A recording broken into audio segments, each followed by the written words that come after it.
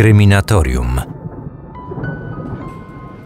Gdy wiosną 2009 roku ciężki sprzęt budowlany podjechał pod jeden z opuszczonych domów w amerykańskim mieście Indianapolis, zebrani na miejscu ludzie zaczęli bić brawo. W mgnieniu oka, zrównany z ziemią, został niemy świadek najokrutniejszej zbrodni w historii stanu Indiana. To właśnie w tym domu, 44 lata wcześniej, brutalnie zamordowana została 16-letnia Sylwia Likens.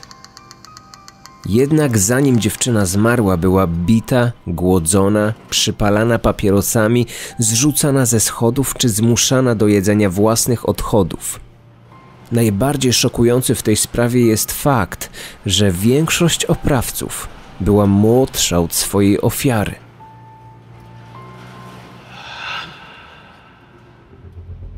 Dziewczyna z sąsiedztwa. Taki tytuł nosi ten odcinek podcastu. Taki tytuł ma również powieść bazująca na tej historii.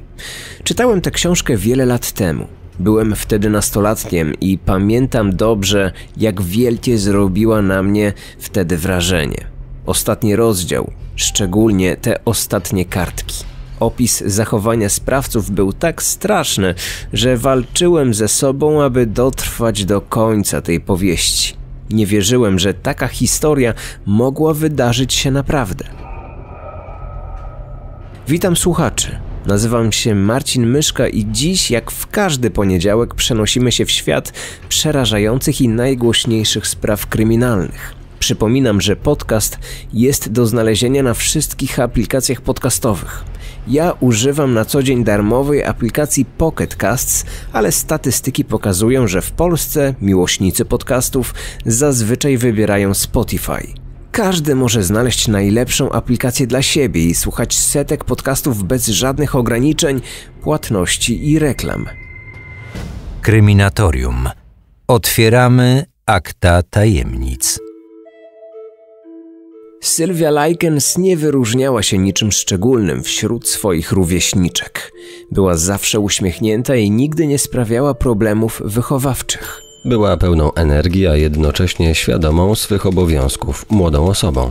Nastolatkę scharakteryzowała Aleksandra Rzepkowska w swojej pracy Przemilczenia w kulturze, przyczynek do historii Sylwii Likens. Chodziła do szkoły, do kościoła, lubiła jeździć na rolkach, spędzać czas z rówieśnikami, a także słuchać muzyki młodzieżowej, śpiewać i tańczyć. Była życzliwa i pogodna, choć nieco nieśmiała. Do zdjęć pozowała nie pokazując zębów, w uśmiechu, ponieważ brakowało jej jednego z przodu. Straciła go w dzieciństwie w wyniku szarpaniny z bratem.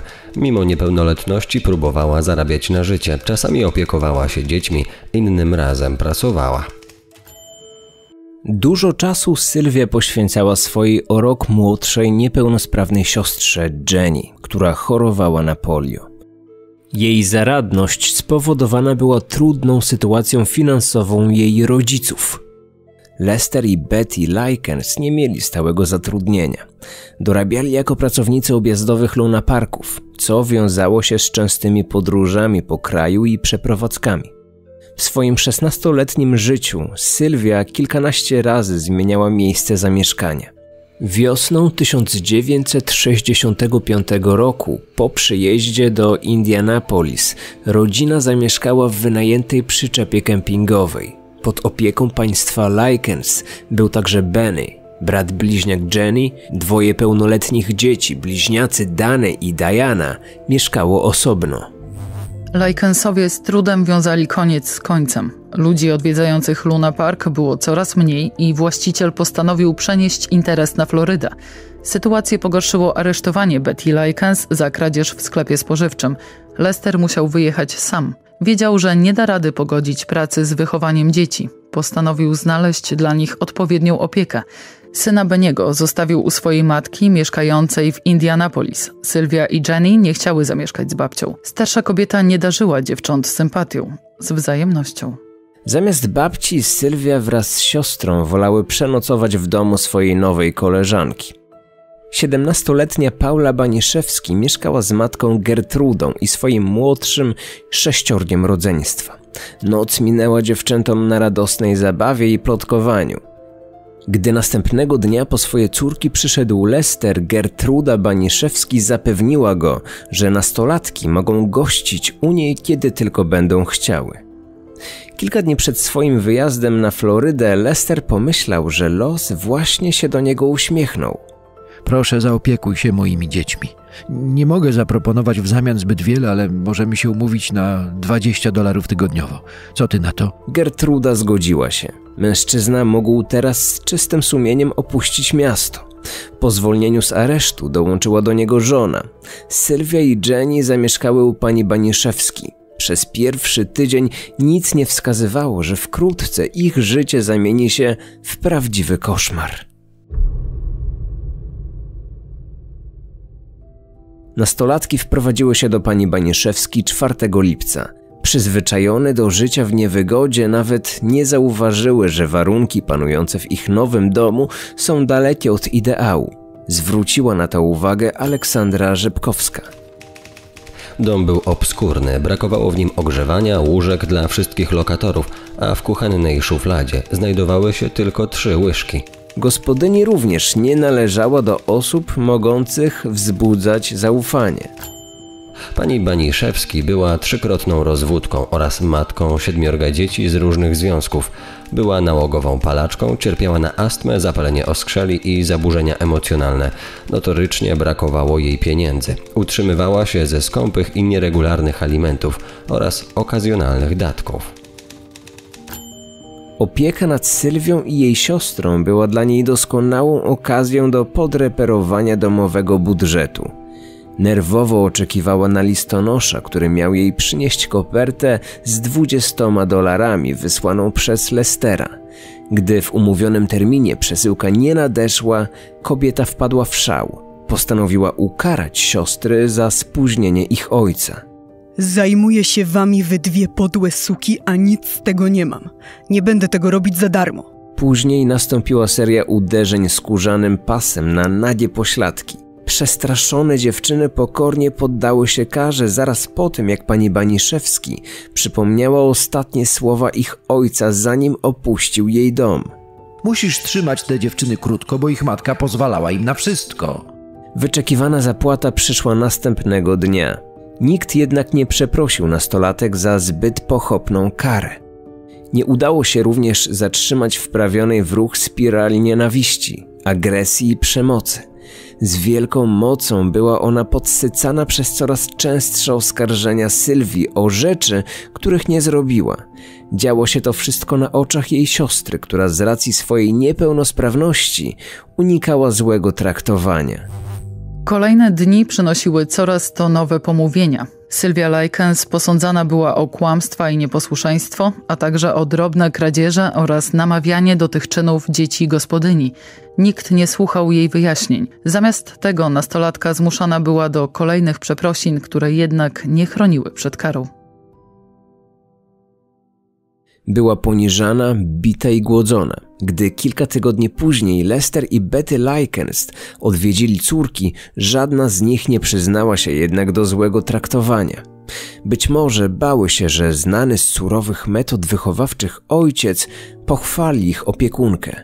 Wiedziały też, że jakakolwiek próba skargi skończy się zaostrzeniem kar po wyjeździe rodziców. Według Johna Dina, autora dwóch książek o Sylwii Likens, wszystkie wizyty rodziców wyglądały podobnie. Jeśli pozwalały na to przerwy w pracy, od czasu do czasu państwo Likens wracali do Indianapolis, aby odwiedzić córki. Podczas tych wizyt żadna z dziewcząt nie wykazywała widocznych oznak niepokoju, nic też nie wskazywało na ich złe traktowanie. Być może dlatego, że podczas odwiedzin Likensom zawsze towarzyszyła Gertruda i jej dzieci. Pewnego razu niemal natychmiast po tym, jak Lester i Betty opuścili dom pani Baniszewski, kobieta odwróciła się do sióstr, mówiąc: I co teraz? Co zamierzasz teraz zrobić, Sylwio? Już ich nie ma i nie wiadomo, czy jeszcze wrócą. Wraz z pojawieniem się nowych przewinień wzrastał też repertuar wymyślnych tortur. Należały do nich m.in. przypalanie papierosem, zjadanie posiłków z podłogi lub zamykanie na noc w ciasnym schowku na miotły. Pani Baniszewski do udziału w wymierzeniu kar namawiała także swoje dzieci. One nie tylko nie protestowały, ale z coraz większym zadowoleniem przyłączały się do tego makabrycznego rytuału. Z czasem całkowicie zastąpiły swoją matkę w codziennym wymierzaniu domowej sprawiedliwości. Prym wiodła w tym najstarsza córka, 17-letnia Pola. Dzielnie wspierało ją pozostałe rodzeństwo: 15-letnia Stefani, 12-letni John, 11-letnia Marie, 10-letnia Shirley, a nawet 8-letni James. Ich ulubioną karą było bicie Sylwii pięścią po głowie. Do bicia Sylwii zmuszona była również Jenny. Grożono jej, że jeśli nie przyłączy się do pozostałych, podzieli los swojej siostry.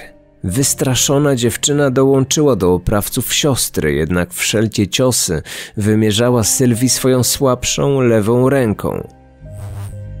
Obecna na każdej niedzielnej mszy Gertruda Baniszewski zaczęła popadać w coraz większą obsesję związaną z popełnianymi przez Sylwię grzechami.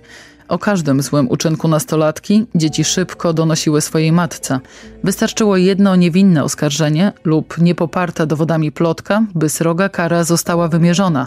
Jej rodzaj zależał od popełnionego grzechu. Gdy podczas poczęstunku po mszy Sylwia zjadała zbyt wiele, aby zmazać grzech obżarstwa, zmuszano ją do zjedzenia obfitej kolacji. Bita jadła tak długo, aż zwymiotowała.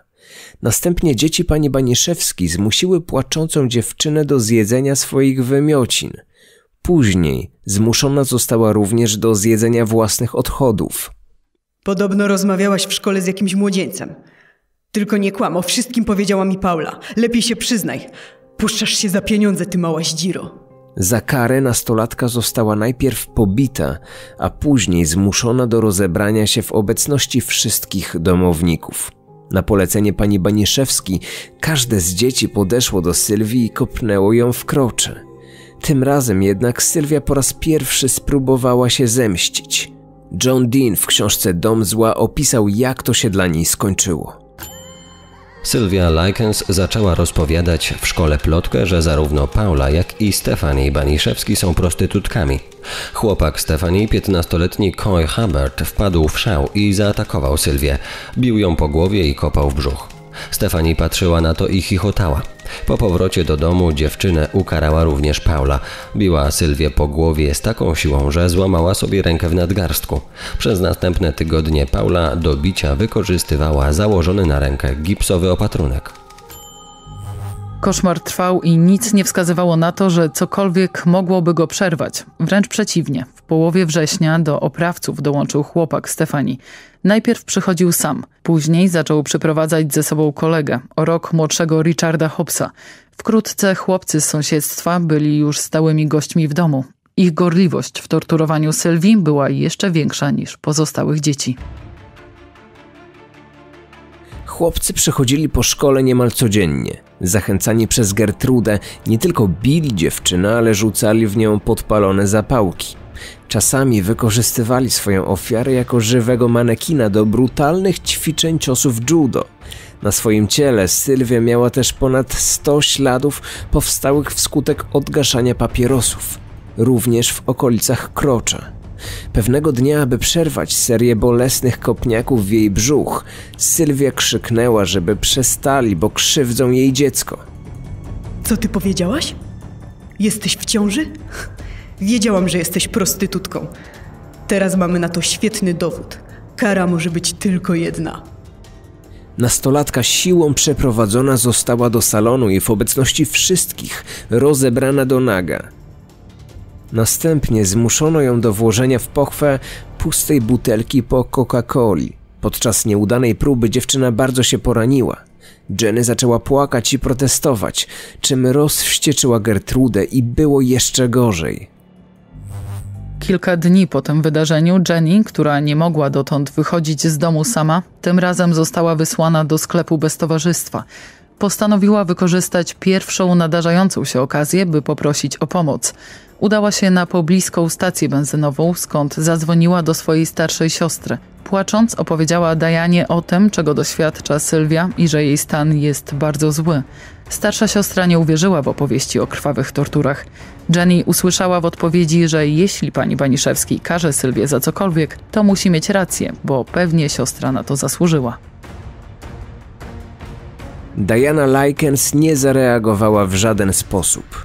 Nie powiadomiła odpowiednich służb, które mogłyby sprawdzić, co dzieje się w tym domu. Nie poinformowała też rodziców przebywających na Florydzie, gdyż żadne z dzieci nie miało z nimi kontaktu. Otwarte pozostaje pytanie, dlaczego Jenny nie próbowała dodzwonić się bezpośrednio na policję.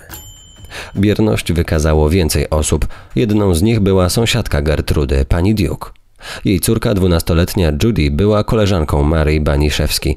Podczas jej pobytu w domu kilka razy była świadkiem złego traktowania Sylwii. Gdy później opowiedziała o wszystkim matce, kobieta stwierdziła tylko, że to nie jest ich sprawa. Jeśli tak się dzieje, to z pewnością istnieje ku temu ważny powód. Podobną ignorancją wykazał się miejscowy pastor Roy Julian. Miał on w zwyczaju odwiedzać swoich parafian. Gdy przyszedł do pani Baniszewski, zapytał, co się dzieje z Sylwią, ponieważ od pewnego czasu nie widuje jej w kościele. W odpowiedzi usłyszał, że z powodu złego zachowania odesłała dziewczynę do jej krewnych. Taką samą odpowiedź zanotowała pracownica pomocy społecznej, która postanowiła sprawdzić anonimową informację o złym stanie zdrowia nastolatki przebywającej pod opieką Gertrudy. Czy to pani Baniszewski miała dar przekonywania, czy może inni słyszeli tylko to, co chcieli usłyszeć? Prawda leżała gdzieś po środku.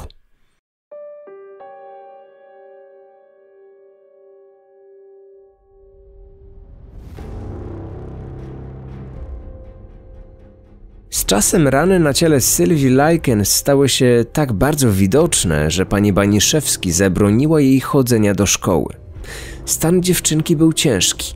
Coraz częściej traciła nie tylko przytomność, ale i świadomość. Nie wiedziała, gdzie jest i co się z nią dzieje. Na początku października jej organizm był tak wycieńczony, że nastolatka zaczęła się moczyć we własne łóżko. Za karę została przeniesiona i zamknięta w piwnicy. Od tego momentu katusze, jakim była poddawana, przybrały na sile. Doszły także nowe tortury. Aby nauczyć ją właściwego dbania o higienę, wymyślono kolejną formę znęcania się nad nią. Polegała ona na wiązaniu ofiary, napełnianiu starej wanny wrzątkiem i wrzucaniu jej do ukropu. Czasami dla odmiany wkładano dziewczynę do pustej wanny i wcierano sól w jej otwarte rany. Jednym z ostatnich aktów krwawego terroru grozy był pomysł napiętnowania Sylwii specjalnym tatuażem. Za pomocą rozgrzanej igły na brzuchu półprzytomnej dziewczyny wypalono napis: Jestem prostytutką i jestem z tego dumna. Na jej piersi, rozgrzaną do czerwoności śrubą, próbowano także wypalić literę S. Kilka dni później pani Baniszewski przyniosła Sylwii kartkę i kazała napisać list do rodziców, w którym zmusiła nastolatkę do wyznania swoich win i wytłumaczenia powodów jej fizycznych obrażeń. Do pana i pani Likens. W środku nocy byłam z grupą chłopców. Powiedzieli, że mi zapłacą, jeśli przyniosę im rzeczy, które miałam w samochodzie. Dostali to, co chcieli i pobili mnie, zostawiając na mojej twarzy i całym ciele okropne blizny. Na brzuchu wycięli mi napis. Jestem prostytutką i jestem z tego dumna. Zrobiłam wszystko, co tylko mogłam zrobić, aby Gertruda była na mnie wściekła i wydała więcej pieniędzy niż sama miała. Zniszczyłam zupełnie nowy materac. Gertrudę musiała też zapłacić za lekarza, na którego przeze mnie nie było jej stać. Przyprawiłam ją i jej dzieci chorobę nerwową. Pani Baniszewski przeczuwała zbliżający się tragiczny koniec. List miał się zatem stać doskonałym alibi, gdyby śmierć Sylwii ściągnęła do jej domu policję. Ostatnim wysiłkiem Sylwii Likens na odmianę swojego losu była jej próba ucieczki. Gdy dziewczyna podsłuchała, jak nocą domownicy planują wywieźć ją i pozostawić na wysypisku śmieci, postanowiła za wszelką cenę się ratować. Była jednak zbyt słaba, by tego dokonać. Złapana przed domem, została siłą zaprowadzona z powrotem do piwnicy. Związana, zakneblowana i pobita Sylwia była świadoma, że wkrótce umrze. Gdy 25 października 1965 roku po raz ostatni w piwnicy odwiedziła ją Jenny, Sylwia ostatkiem sił wyszeptała do swojej siostry. Jenny, wiem, że nie chcesz, żebym umarła, ale ja niedługo umrę. Mogę ci to teraz powiedzieć. Ja umieram. Kilka godzin później, w nocy, Sylwia po raz ostatni dała o sobie znać, kilkukrotnie uderzając szuflą do węgla o podłogę. Usłyszeli to domownicy, którzy szybko uciszyli dziewczynę. Hałas zbudził też najbliższych sąsiadów, jednak ci w ogóle nie zareagowali. Następnego dnia Sylwia Likens już nie żyła. Policję o tym fakcie poinformował telefonicznie Richard Hobbs, który pojawił się w domu po południu. Uczynił to na polecenie pani Baniszewski. Obecni na miejscu policjanci przeczytali napisany przez Sylwię list oraz wysłuchali jak przed śmiercią dziewczyny pani Baniszewski wraz z dziećmi próbowała ją wykąpać i nakarmić. Opowiadała też o długiej akcji reanimacyjnej, która zakończyła się niepowodzeniem – Trzymając w ręku Biblię, przysięgała policjantom, że w takim stanie Sylwia wróciła zeszłej nocy do domu i po całym dniu intensywnej opieki zmarła krótko przed powiadomieniem policji. Późniejsza sekcja zwłok wykazała, że śmierć nastąpiła kilkanaście godzin wcześniej niż głosiła wersja pani Baniszewskiej. Prawdopodobnie wtedy, gdy hałasująca o godzinie trzeciej w nocy Sylwia została nagle uciszona przez domowników. Gdy wynoszono ciało zamordowanej nastolatki, do policjantów podbiegła wystraszona Jenny i płacząc powiedziała jednemu z funkcjonariuszy. Proszę, zabierzcie mnie stąd, a opowiem wam całą historię. Bezpośrednią przyczyną śmierci Sylwii Likens był obrzęk i wylew krwi do mózgu oraz szok związany z rozległymi ranami na jej ciele. Sekcja zwłok nie wykazała jakichkolwiek prób molestowania seksualnego. Stwierdzono także, że zmarła nastolatka była dziewicą, co wykluczało wszelkie oskarżenia o złe prowadzenie się, jakie padały wcześniej pod jej adresem. Gertruda Baniszewski została oskarżona o morderstwo pierwszego stopnia. Jej dzieci, Pole, Stefani i Johna oraz Richarda Hobbsa i Koja Haberda aresztowano za morderstwo drugiego stopnia. Reszcie nieletnich domowników przedstawiono zarzut naruszenia nietykalności cielesnej. Podczas procesu sala rozpraw pękała w szwach. Dziennikarze szczegółowo relacjonowali przebieg procesu. Zeznania dzieci pani Baniszewskiej okazały się tak bardzo wstrząsające, że sędzia podczas odczytywania wyroków stwierdził, że była to najstraszliwsza i najbrutalniejsza zbrodnia, jaką kiedykolwiek popełniono w stanie Indiana. Gertrude Baniszewski skazana została na dożywocie.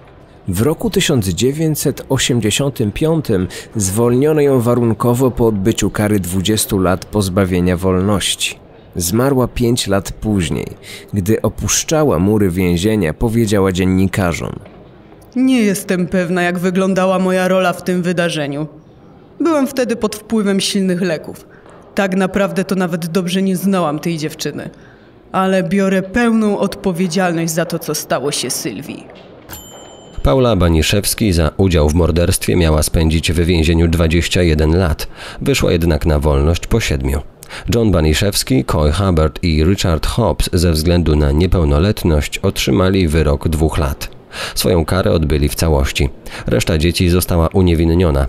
Najwięcej kontrowersji wzbudziło uniewinnienie 15-letniej Stephanie, która brała czynny udział w torturach. Na sali sądowej twierdziła, że biła Sylwię, ale tylko wtedy, gdy była ona niegrzeczna. Jenny Likens z niezrozumiałych powodów potwierdziła jej słowa. Zbrodnia w Indianapolis stała się szerzej znana pod koniec lat 80. XX wieku, gdy pisarz Jack Ketchum oparł na tej historii swoją powieść. To właśnie o tej książce wspominałem na samym początku odcinka. Po wydaniu dziewczyny z sąsiedztwa najpierw cała Ameryka, potem reszta świata poznały losy Sylwii Likens. Czytelnicy byli wstrząśnięci, mimo że Ketchum jedynie luźno nawiązywał do prawdziwych wydarzeń i zmienił w tej historii co tylko mógł. Czas akcji, miejsce i imiona bohaterów. On sam nigdy nie ukrywał, że prawdziwy był wyłącznie motyw znęcania się zwyczajnej z pozoru rodziny nad niewinną nastolatką. Krytycy narzekali co prawda na ubogi styl autora oraz nadmierne epatowanie nieuzasadnioną brutalnością, jednak to czytelnicy zdecydowali, że dziewczyna z sąsiedztwa szybko stała się bestsellerem. W roku 2007 na podstawie książki nakręcono film fabularny pod tym samym tytułem, który wiernie zobrazował to, co wymyślił Ketchum. W tym samym roku swoją premierę miał również inny film oparty na wydarzeniach w Indianapolis. Obraz Amerykańska zbrodnia był znacznie wierniejszy prawdziwej historii, choć jego treść została mocno złagodzona. Pominięto też najbrutalniejsze elementy tej opowieści. Widzom nie spodobał się pomysł twórców, polegający na próbie delikatnego wybielenia postaci pani Baniszewski i usprawiedliwiania jej sadyzmu, depresją i złym stanem fizycznym kobiety. Pomimo swoich niedociągnięć, film odniósł sukces i znacząco wpłynął na późniejsze losy dwojga oprawców Sylwii Likens. 57-letni Coy Hubbard, były chłopak Stefanii Baniszewski, biorący czynny udział w torturach, wciąż mieszkał w Indianapolis. Na początku lutego 2007 roku, tuż po premierze amerykańskiej zbrodni, został rozpoznany w swoim miejscu pracy. Najpierw został dotkliwie pobity przez współpracowników, a następnie zwolniony z pracy. Zmarł kilka miesięcy później, prawdopodobnie popełnił samobójstwo. Dość długo anonimowość udawało się utrzymać Pauli Baniszewski, głównej inicjatorce najokrutniejszych tortur. Zmieniła nazwisko na Paula Pace i do roku 2012 pracowała jako nauczycielka w szkole podstawowej w stanie Iowa gdy w lokalnej telewizji wyemitowano najpierw amerykańską zbrodnię, a po niej film dokumentalny o morderstwie Sylwii Likens, miejscowa policja otrzymała anonimową wiadomość o prawdziwej tożsamości nauczycielki. Szeryf hrabstwa Grandi, w którym mieściła się szkoła, w wywiadzie dla telewizji ABC News powiedział wtedy: Przed tygodniem otrzymaliśmy anonimowy raport, że Paula Pace, Wcześniej nazywała się Paula Baniszewski i była bezpośrednio zaangażowana w sprawę morderstwa w Indianie z roku 1965. Najpierw informacje o jej prawdziwej tożsamości zaczęły krążyć po Facebooku. Później ktoś zadzwonił do nas, mówiąc, żebyśmy sprawdzili jej przeszłość. Sprawdziliśmy i od razu powiadomiliśmy dyrektora szkoły, w której kobieta pracowała. 64-letnia nauczycielka została natychmiast zwolniona z pracy. Państwo Likens nigdy nie otrząsnęli się po tragedii, jaka spotkała ich córkę.